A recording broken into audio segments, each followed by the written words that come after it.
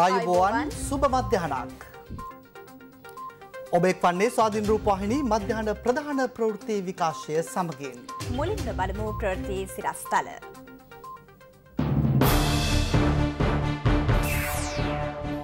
අමාත්‍යංශ හතක ඇමති දුවරවල වෙනසක්.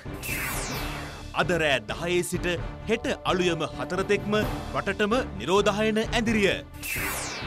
සංචරණ සීමා කැඩුවොත් වැඩ වරදී පොලිසියත් ත්‍රිවිධ හමුදාවත් සීරුවෙන්. හයිටිය හෙල්ලුනත් කිසිම ශ්‍රී ලාංකිකයෙකුට හානියක් නැහැ. ඇෆ්ගනිස්ථානය තලේබහන් භාරගනිත්ති කාබුලෙන් ජනතාව පලායයි.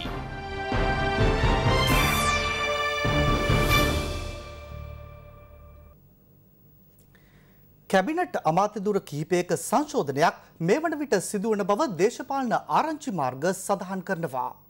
කැබිනට් සංශෝධනයට අදාළ අමාත්‍යවරුන් මෙවන විටත් ජනාධීපති ලේකම් කාර්යාලයට පැමිණ සිටින බවයි වාර්තාවන්නේ. අමාත්‍යවරුන් හත් දෙනෙකුගේ දොරවල වෙනසක් සිදුවන බවයි දේශපාලන ආරංචි මාර්ග වාර්තා කරන්නේ. මෙයනුව කෙහෙලි රබුක්වැල්ල මහාචාර්ය ජීල් පිරිස් ඩල සලහ පෙරුම ගාමිණී ලොකුගේ දිනේශ් ගුණවර්ධන පවිත්‍ර වන්‍යාරච්චි හා නමල් රාජපක්ෂ නමාත්‍යවරුන්ගේ කැබිනට් අමාත්‍ය දුරවල වෙනසක් සිදුවන බව වාර්තා වනවා.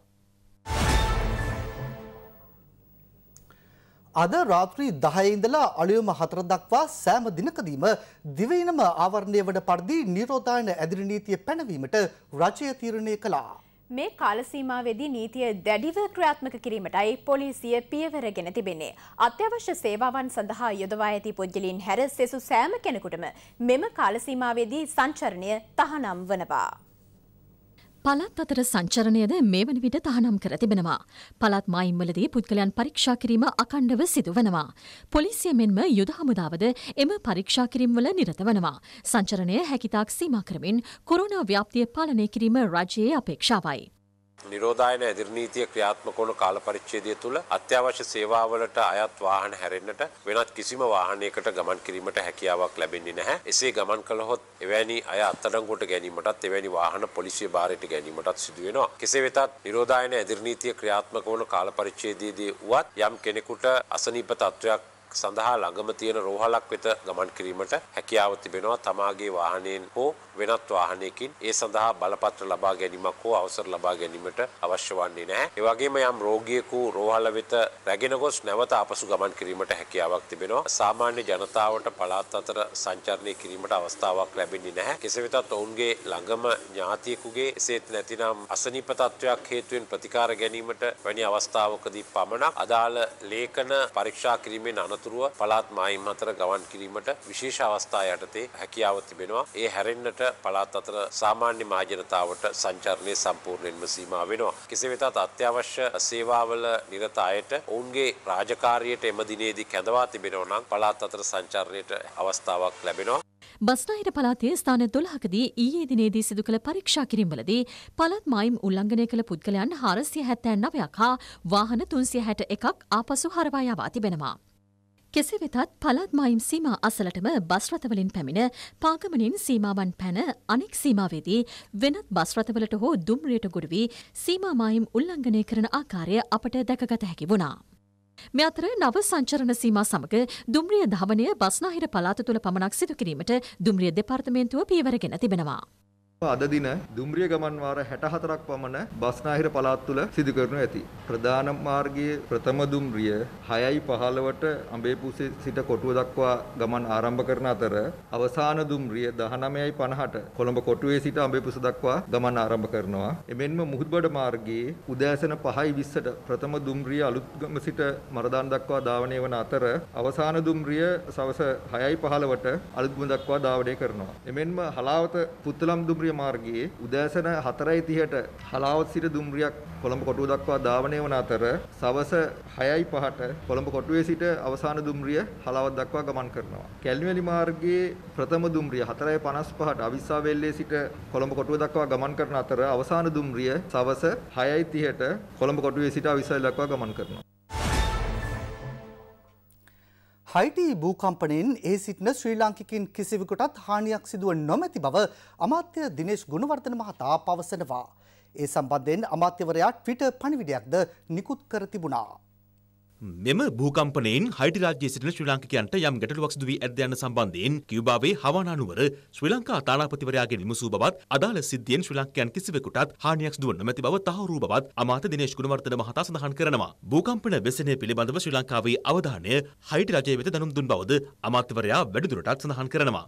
මේ අතර ඇෆ්ගනිස්ථානයේ කාබුල් නුවර මතු ඇති තත්ත්වයක් සමග අවස්ථාවක් මතුවහොත් එහි සිටින ශ්‍රී ලාංකිකයන්ට ආරක්ෂිතව පිටවීමට අවස්ථාව සලසා දී ඇති බවද අමාත්‍ය දිනේෂ් ගුණවර්ධන මහතා පවසනවා. ශ්‍රී ලාංකිකයන් 50කට අධික පිරිසක් කාබුල් නුවර වාසය කරනවා. එහි පිහිටා ඇති ශ්‍රී ලංකා තානාපති කාර්යාලය ඇතුළු සියලු රටවල තානාපති කාර්යාල නිලධාරීන්ට එක්සත් ජාතීන්ගේ සංවිධානයේ සම්බන්ධීකරණය මත ආරක්ෂිතව රටින් පිටවීමටද කටයුතු සූදානම් කර ඇති බවයි වාර්තා වන්නේ.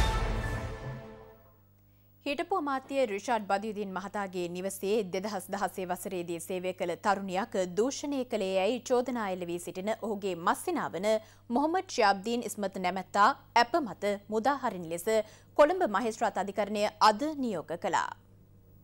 රුපියල් ලක්ෂ පහක ශරීර ඇපයක් මත සැකකරු මුදාහැරීමට කොළඹ ප්‍රධාන මහිස්ත්‍රාත් බුද්ධික සී රාකල මහතා නියෝග කළ අතර සැකකරුගේ විදේශ ගමන් බලපත්‍රය අධිකරණයට භාරදීතු බවට නියෝග කළා. එමින්ම සාක්ෂිකරුවන්ට බලපෑම් කිරීමෙන් වලකින ලෙසද මහිස්ත්‍රාත්වරයා සැකකරුට අවවාද කළා. පැමිණිල්ල කැඳවනු ලැබූ අවස්ථාවේදී සැකකරු අධිකරණයට ඉදිරිපත් කර නොතිබුණු අතර ඔහු වෙනුවෙන් පෙනී සිටි නීතිචවරයා සඳහන් කර සිටියේ මෙම විමර්ශන ආරම්භ කර තිබෙන්නේ වෙනත් අපරාධ සිද්ධියකදී දැරිය කළ ප්‍රකාශයක් මත බවයි. අපරාධය සිදු වූ දිනේ හා පැමිණිල්ල ඉදිරිපත් වූ දිනය සම්බන්ධයෙන් මේ දක්වා නිශ්චිත කරුණු අනාවරණය වී නොමැති බැවින් සිය සේවාදායකයා අපමත මුදාහරින් ලෙස අධිකරණයෙන් ඉල්ලා සිටියා.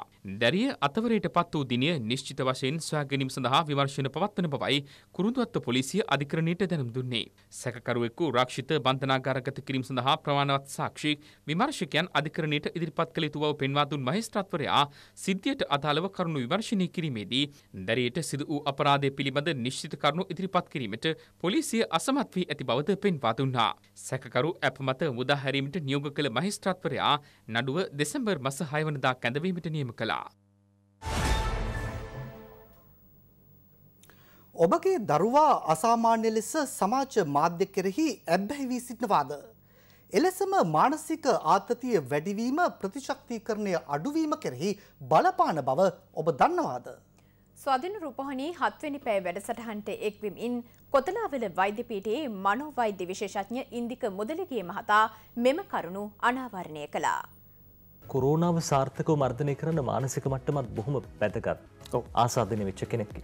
ඕ ඉතාම වෙතගත්. එකට හේතු කීපයක් තියෙනවා. අපිට පාලනය කරන්න පුළුවන් දෙයක් නම් මානසික ආතතිය ඉහළ යන්නේ.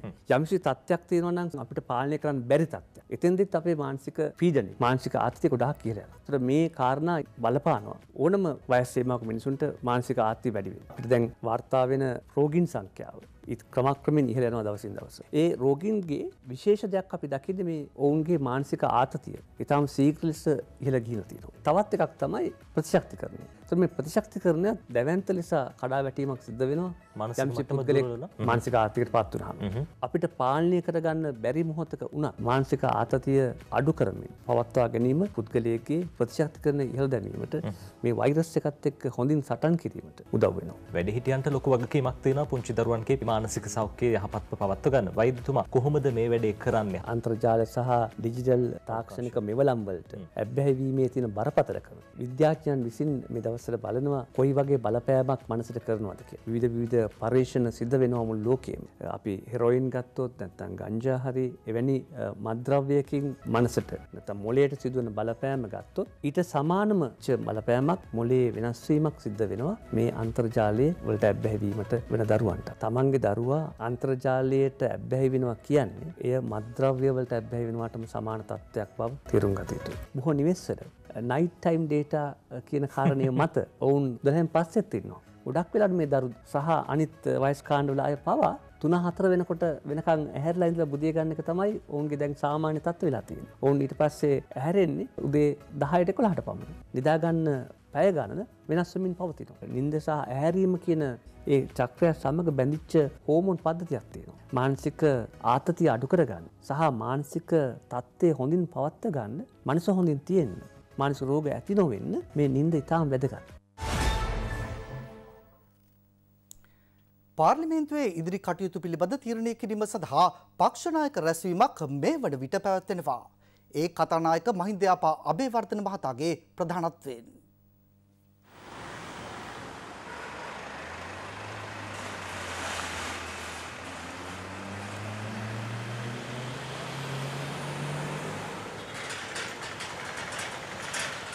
පක්ෂනායක රැස්වීමේ පාර්ලිමේන්තුවේ කටයුතු සම්බන්ධව කතා කරන්න යනවා. පාර්ලිමේන්තුව ෂෙඩියුල් එකේ විදිහට මේ සතිය දවස් හතරක් රැස් වෙන්න ඕන. පවතින තත්ත්වය සමග පාර්ලිමේන්තු රැස්සේ පැවැත්වෙනවද කියලා? අපි කියන්නේ රට වහනවා නම් පාර්ලිමේන්තුව වහන්න ඕන. රට වහන්න නැතුව පාර්ලිමේන්තුව වහල වැඩක් නැහැ. මොකද පාර්ලිමේන්තුව විතරක් ආරක්ෂාව මොනවද? රටේ ජනතාවටත් ආරක්ෂාව ඕන. රට වහලා පාර්ලිමේන්තුවත් ඒ අනුව කටයුතු කරන්නයි අපි කියන්නේ.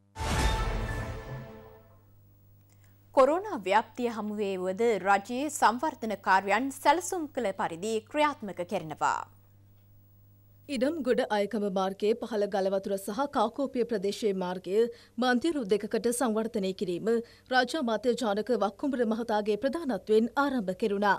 සංවර්ධන කාර්ය සඳහා රුපියල් මිලියන දෙසිය හතලිහක් වැය කෙරෙනවා. දින එකසිය විස්සක් තුළ ඉදිකිරීම් අවසන් කිරීම සැලස්මයි.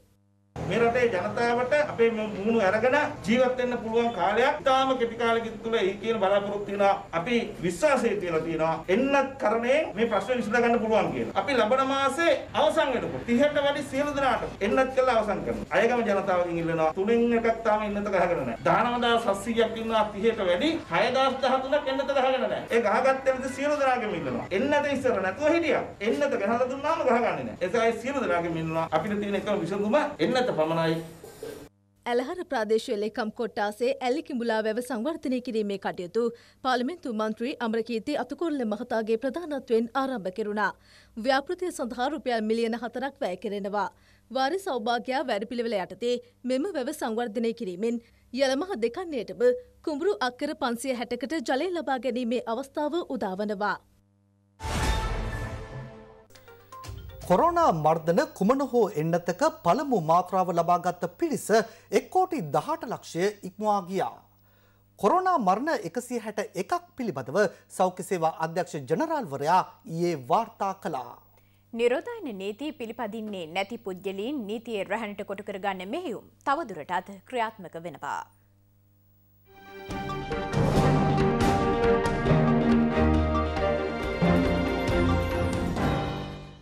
මෙරට සමස්ත කොරුණා ආසාධිතයන් සංඛ්‍යාව තුල්ලක්ෂ පනස් හතරදහස් නවසය හැට අටක් දක්වා ඉහළ ගියා. එ අතරින් තුන්ලක්ෂ නවදහස් හත්සිය තිස් දෙතෙනෙකු සුවය ලැබවා. තිස්නව දහස් තුන්සිය එක් දෙනෙකු තවදුරටත් ප්‍රතිකාර ලබනවා. නව කොරුණා මරණ එකසිය හැට එකක් පිළිබඳව සෞඛ්‍ය සේවා අධ්‍යක්ෂ ජනරාල්වරයා ඊයේ තහවුරු කළා. කොරුණා ව්‍යාප්තිය සැලකිල්ලට ගනිමින් නගර කිහිපයක කඩසාපු මෙවන විට වසා දමා තිබෙනවා. ගම්පා නගරයේද කඩසාපු වසා දැමීම හේතුවෙන් නගරයේ පාලුස් ස්වභාවයක් පවතිනවා. කොරුණා ව්‍යාප්තිය සැලකිල්ලට ගනිමින් බස්නාහිර පලාතේ වාහන ආදායම් බලපත්‍ර නිකුත් කිරීම ලබන තිස් එක් වනදා දක්වා අත්හිටවා තිබෙනවා. මේ අතර රත්නපුර සහ කෑගල්ල දිස්ත්‍රික්ක දෙකේ සියලු ප්‍රාදේශීය ලේකම් කාර්යාල තුළ ස්ථාපිත කර ඇති ආදායම් බලපත්‍ර නිකුත් කරන අංශය ලබන මස පහළොස් වනදා දක්වා තාවකාලිකව වසා තබන බව සබරගමුව පළාත් ප්‍රධාන ලේකම් රංජනී ජයකොඩි මහත්මිය පවසනවා. බස් නැවතුම්පලෙන් ගමන් ආරම්භ කරන ලද බස් රථවල සිටින සෑම මගියෙකුම මුඛ අවරණ නිසි පරිදි පැළඳ සිටින්නේද යන්න පිළිබඳව එම බස් රථයේ රියදුරු හා කොන්දොස්තරවරයා සොයා බැලිය යුතු වනවා. එමෙන්ම ආසන ගණනට පමණක් මගින් ප්‍රවාහනය කිරීමට දැඩි ලෙස උපදෙස් ලබා දී තිබෙනවා. නිරෝධායන නීති පිළිපදින්නේද යන්න පිළිබඳව පොලිසිය දැඩි විමසිල්ලෙන් පසුවනවා. විවාහ මංගල උත්සව මේ සියල්ල තහනම් කර තිබෙනවා. කෙසේ වෙතත් යම් කෙනෙකුගේ විවාහ ලියාපදිංචියක් සඳහා අදාළ මනාලයා මනමාලිය එවැගේම ඔවුන්ගේ දෙමව්පියන් විවාහ රෙජිස්ට්‍රාර්වරයා සහ සාක්ෂිකරුවන් දෙදෙනෙකුගේ සහභාගීත්වයෙන් ඒ කටයුතු සෞඛ්‍ය ආරක්ෂණ ක්‍රම අනුගමනය කරමින් කර ගැනීමට හැකියාවක් තිබෙනවා. ඒ හැරෙන්නට වෙනත් අයට ඒ සඳහා සහභාගී වීමට අවස්ථාව හිමි වන්නේ නැහැ. මෙම නිරෝධායන රීතීන් අද දිනේ සිට ක්‍රියාත්මක වෙනවා. ඊට අනුගතව කටයුතු කරනු ඇතැයි අපේක්ෂා කරනු ලබනවා. කොරෝනාවට එරෙහි එන්නත් කරන වැඩසටහන අදත් දිවයිනේ ප්‍රදේශ කිහිපයකම ක්‍රියාත්මක කරනවා. විහාර මහදේවී උද්‍යානයේ හා දියත උයනේදී යුද හමුදාවේ මූලිකත්වෙන් එන්නත් ලබාදීම මෙවන විට සිදුවනවා. ජනතාව මහත් උනන්දුවකින් යුතුව එන්නත් ලබා ගැනීමට පැමිණ සිටිනවා. පහසු හැමදේම කරගත්තා. විශිෂ්ට සේවයක් කරනවා යුද හමුදා නිලධාරීන් ඇතුළු ඒ සියලුම මහත්ම මහත්මීන් ගොඩාක් අගය කරනවා. එන්නත කියන්නේ අවශ්‍යතාවයක් නේ අනිවාර්යයෙන්ම. ඒකින්ද ඒක හැම කෙනාටම එන්න කියලා තමයි කියන්නේ කරගන්නේ. ඇත්තටම ඇවිල්ලා මේ එන්නත් ලබා ගන්න ගන්න හරිම පහසුයි ලේසි කිසිම වෙලාවක් යන්නෙත් නෑ ඇවිල්ලා කරගන්න කියලා තමයි ඉතින් කියන්නේ. මෙතෙක් කිසිදු එන්නත් මාත්‍රාවක් ලබා නොගත් පුද්ගලයන් වෙනුවෙන් පොලිසියේ මැදිහත්වීමෙන් එන්නත් කරන වැඩසටහනක් අදත් ක්‍රියාත්මක කරනවා. ඒ මාලිගාවත්ත පීඩි සිරිසේන ක්‍රීඩාංගනයේදී. හැටන් ප්‍රදේශයේ රාජ්‍ය හා පෞද්ගලිකංශයේ සේවකයන් එක්දහස් දෙසිය අනුහය දෙනෙකුට සයින්ෆා මෙන්නතේ දෙවන මාත්‍රාව ලබාදීම හැටන් DKW සංස්කෘතික මධ්‍යස්ථානයේදී සිදුවනවා.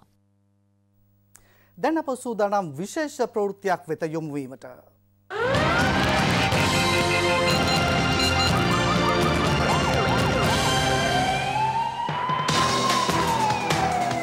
වෙක්වන්නේ අයිටන් විශේෂ ප්‍රවෘති විකාශයත් සමගයි මීට සුළු මොහොතකට පෙර අමාත්‍ය දුරවල සංශෝධනයක් සිදු වුණා. ඒ අනුව මහාචාර්ය ජීල් පීරිස් මහතා විදේශ කටයුතු අමාත්‍යවරයා ලෙසත් කෙහෙලිය රමුක්වැල්ල මහතා සෞඛ්‍ය අමාත්‍යවරයා ලෙසත් දලස් අලහත්පෙරුම මහතා ජනමාධ්‍ය අමාත්‍යවරයා ලෙසත් ජනාධිපති ගෝටාබෙහ රාජපක්ෂ මැතිතුමා ඉදිරියේ දියුරුම් දුන්නා. ඒ අතර අධ්‍යාපන අමාත්‍යවරයා ලෙස දියුරුම් දුන්නේ දිනේෂ් ගුණවර්ධන මහතායි. පවිත්‍රා වන්‍යාරච්චි මහත්මිය ප්‍රවාහන අමාත්‍යවරිය ලෙසත් දියුරුම් දුන්නා.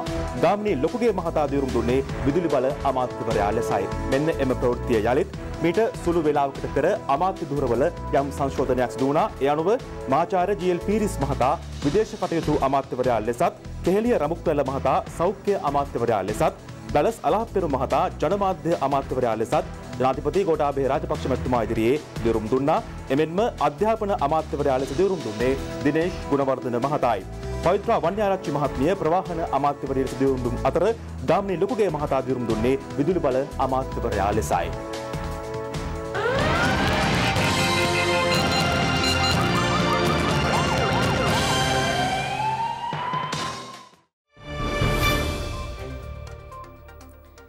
කාබනික පොහොර නිෂ්පාදනය මෙන්ම එම පොහොර භාවිතයෙන් වගා කටයුතු සිදු කිරීමද තවදුරටත් සාර්ථකව සිදුවනවා.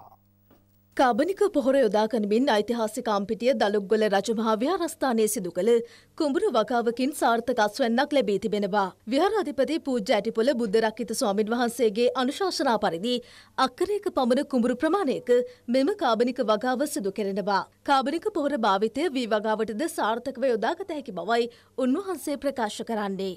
ඓතිහාසික පෞරාණික චාරිත්‍රානුකූලව අද මෙම කුඹුරේ ගොයන් කැපීමේ මංගල්‍යය අප සිද්ධ කරනවා. මට ඉතාමත් සතුටක් දැනෙනවා. මේ කුඹුර ඉතාමත් සාර්ථකව හොඳ අස්වැන්නක් ලබා ගන්න පුළුවන් තරමට සකස් වෙලා තියෙනවා. මම ඉල්ලීමක් කරනවා ලංකාවේ සියලුම ජන කොටස් වලින් මේ කාබනික හොර යොදාගෙන හොඳ අස්වැන්නක් ගන්න පුළුවන් විදිහට මේ විදිහේ කටයුතු කරන ආරම්භ කරන්නත් කාබනික පොහොර භාවිත කරමින් සිදු කරන සාර්ථක වගාබිමක් පිළිබඳ කැප්පටිපොළ ප්‍රදේශයෙන් වාර්තා වනවා. ප්‍රියන්ත මනතුංග නැමැති ගොවි මහතෙකු පවත්වාගෙන යන මෙම ගොයිපොළ අක්කර හතරක් පමණ වනවා. සිය අත්දැකීම් අනුව ඔහු කියා සිටින්නේ කාබනික පොහොර භාවිතයෙන් තමන් අපේක්ෂා කළ අත්ස්වැන්න ලබා ගැනීමට හැකි වූ බවයි. කුඩා කාලේ ගත්තොත් එහෙම අපේ ගෙවල් වල කුණු ඔක්කොම එක තැනට දාන්නේ. ඒ කුණු ටික අවුරුද්දකින් අපි කොම්පෝස්ට් වුණාට පස්සේ තමයි වගාව පටන් ගන්නකොට ඒ කොම්පෝස්ට් තමයි මූලික පොහොර විදිහට පාවිච්චි කරන්නේ. අපි එදා ලස්සන හොඳ අස්වැන්නක් ගත්තා. පසු කාලේ අපි රසායනික පොහොර වලට ඇබ්බැහි වෙලා. සමහර වෙලාවට අපිට අවශ්‍ය ප්‍රමාණයට වගේ දෙතුන් ගුණයට අපි රසායනික පොහොර අපේ පසට යෙදුවා. ඒකේ ප්‍රතිඵල අද ඇවිල්ලා තිනවා. රසායනික පොහොර යොදලා යොදලා අපේ පස විනාශ වෙලා තියෙනවා. කෙසේ වෙතත් පහුවෙලා හෝ ආණ්ඩුව රසායනික පොහොර වලින් ඈත් වෙලා කර්මාන්තය වෙනස් කරන්න ආණ්ඩුව ගත්තේකට මම ස්තුතිවන්ත වෙනවා. රටේ ව්‍යසන තත්ත්වයක පවතිද්දී විපක්ෂය බොරදියේ මාළු බෑමට උත්සාහ දරන බව පූජ්‍ය පාහියංගල ආනන්ද සාගර ස්වාමින් වහන්සේ පවසනවා. මේ රටේ විපක්ෂයත් තාමත්ම අඳගොළු විහිරි පාසලක් වගේ විපක්ෂයටත් මේ සම්බන්ධව තේරුමක් නැහැ අඩු ගානේ මේ වෙලාවේ ආණ්ඩුවෙන් තමන්ගේ යුතුයකම ඉටු වෙන්නේ නැහැ කියලා කියනවා නම් විපක්ෂය විසින් තමන්ගේ යුතුයකම ඉටු කරන්නට ඕන මේ අපේ දේශපාලන කාන්තින රට මේ මිනිස්සු දිනපතා මිය යනවා නම් අපි මීට වඩා විපක්ෂය ප්‍රබලව කල්පනා කළා රටක් හැට කල්පනා කළා. මේ වෙලාවේ මේ රට බේරගන්න පක්ෂය විපක්ෂයේ ભેදකින් තොරව සමදනාගම ශක්තිය අවශ්‍යයි. විපක්ෂයේ බොරදියේ මාළු බාන තත්ත්වේ නැතුව රට ගැන හිතන්නේ කියලා නැවත නැවත මහා සංඝරත්නයේ හැට අපි ඉල්ලා සිටින විපක්ෂයනු සඳහිරු සෑයේ තැන්පත් කෙරෙන කොත් වහන්සේ හා චූඩා මාණික්‍ය රගත් පෙරහැර අද පෙරවරුවේ මැල්සිරිපුර නාවයන ආරණ්‍යයෙන් ගමන් ආරම්භ කළා. ආගමික වතාවත්වලට මුල් තැන දෙමින් මෙම පෙරහර ගමන් කිරීම ආරම්භ කෙරුණා. රඹේ කුඹුක් ගැටේ හිරිපිටිය ගනේවත්ත වැල්ලෑගල හරහා ගමන් කර අද සවස් වන විට පෙරහර වාරියපුල ශ්‍රී විසුත්තාරාම විහාරය වෙත පැමිණීමට නියමිතයි. පෙරහර ගමන් ගන්න අවස්ථාවේදී මාර්ගයේ පාලන කටයුතු සඳහා පොලිසිය යොදවා තිබෙනවා. දැඩි සෞඛ්‍ය මාර්ගෝපදේශයන්ට අනුව මෙය සිදු කෙරෙනවා.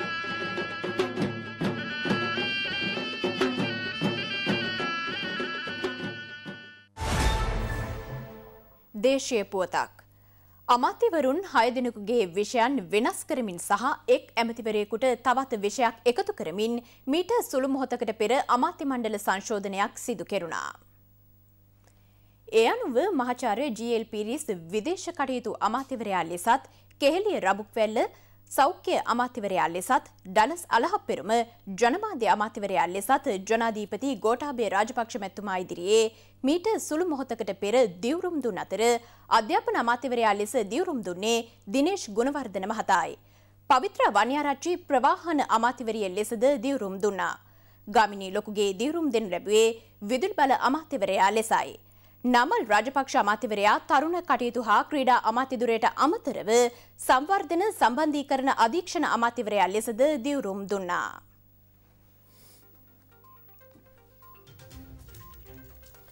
ඒ සමගින් මධ්‍යහන ප්‍රධාන ප්‍රෘතිය විකාශය නිමාවට පත්වෙනවා.